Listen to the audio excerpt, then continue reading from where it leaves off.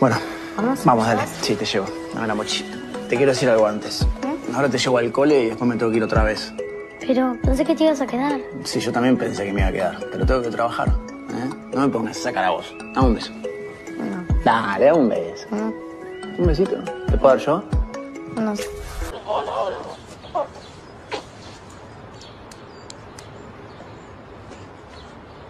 Ay, te extrañé.